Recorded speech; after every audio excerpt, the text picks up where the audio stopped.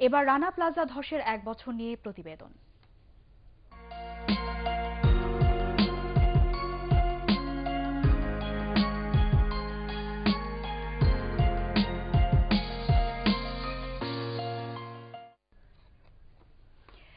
DNA test ছাড়া লাশ হস্তান্তর করায় সাভার রানা প্লাজা ধসে নিহত একশো পাঁচ জন শ্রমিককে শনাক্ত করা যাচ্ছে না বলে মনে করে ঢাকা মেডিকেল কলেজ ও হাসপাতালের ফরেন্সিক বিভাগ। মরদেহগুলো শনাক্ত করতে সে সময় লাশ গ্রহণ করা পরিবারের সদস্যদের আবারও ডিএনএ টেস্ট করার পরামর্শ ফরেন্সিক চিকিৎসকদের। এদিকে নিখোঁজ স্বজনদের সন্ধানে এখনও অপেক্ষার প্রহর গুনছে অনেক পরিবার। আরও জানাচ্ছেন মাহবুব কবির চপল। এক বছর আগে এমন এক ভোরে কাজে যোগ দিতে এসেছিলেন রানা প্লাজার শ্রমিকরা। ভীতি আর শঙ্কা নিয়ে অনেকটা বাধ্য হয়ে আগের রাতে ফাটল ধরা ভবনে ঢোকেন তারা। কাজও শুরু হয়, কিন্তু তারপর হঠাৎ ধস। নিভে যায় হাজারো শ্রমিকের প্রাণ। ভাবি যে মেয়ে আমার আছে আমার মেয়ে আমার মা বলে ডাক দেবে কবে?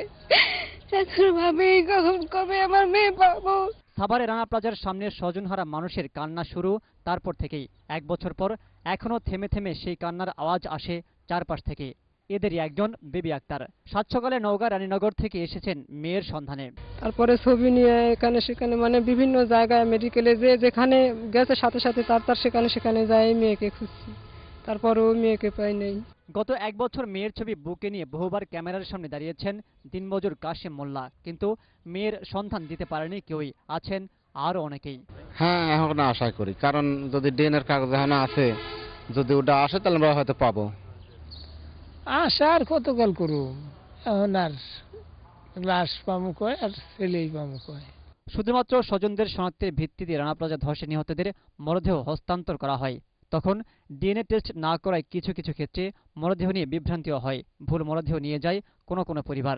একশো বারোটি মৃতদেহ ডিএনএ পরীক্ষা ছাড়াই তাদের স্বজনদের কাছে হস্তান্তর করা হয়েছে। যেই পরিবারগুলো ডিএনএ পরীক্ষা ছাড়া মৃতদেহ মানে গ্রহণ করেছে সেই পরিবারের সদস্যদের ডিএনএ পরীক্ষার আওতায় নিয়ে আসা। এবং ওই পরিবারের সদস্যরা তারা যদি ডিএনএ পরীক্ষায় অংশগ্রহণ করে তাহলে ওখানে কোনো ভুল হয়ে থাকলে সেটা এখানে মানে চিহ্নিত করা যাবে। শনাক্ত না হওয়া মরদেহগুলোকে ক্রমিক নম্বর সহ রাখা হয়েছে জুরাইন কবরস্থানে। বংশ পরিচয় নিয়ে ঢাকায় কাজে এসেছিলেন এসব খেটে খাওয়া মানুষ কিন্তু ভাগ্যের নির্মম পরিহাসে বেবারিশ লাশ হিসেবে ঠিকানা হয়েছে এই কবরস্থানে। তাদের গার্মেন্টসে অগ্নিকাণ্ড বেশ কয়েকটি মরদেহ বেওয়ারিশ হিসেবে এখানে আছেন। আর কোনো দুর্ঘটনায় কোনো শ্রমিককে যেন বেওয়ারিশ হতে না হয় এমনটাই দাবি স্বজনহারাদের মাহবুব কবির চপল এটিএন বাংলা জুরাইন কবরস্থান ঢাকা।